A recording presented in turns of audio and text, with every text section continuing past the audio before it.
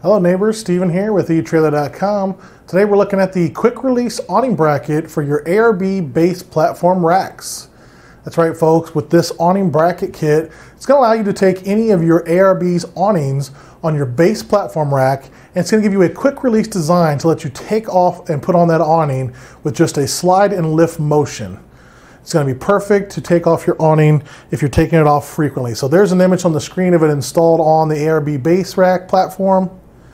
And as you can see here, that's that pivoted design where you can just slide it in, down and over, and it's locked in place. And then when you need to pull the awning off, you can slide it over, up, and out. So very nice design. Everything here is a nice heavy duty steel. It's been powder coated finished. It's gonna be corrosion and rust resistant. It's an easy tool free installation. You have the included hardware and everything that you need to install it.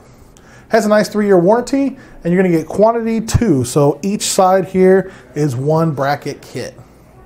Now it does have a nice height adjustment, so you can raise the mounting height on the rack uh, with your vehicle if you have like low clearance and stuff. So you have multiple different heights here that you can choose from when you're mounting that.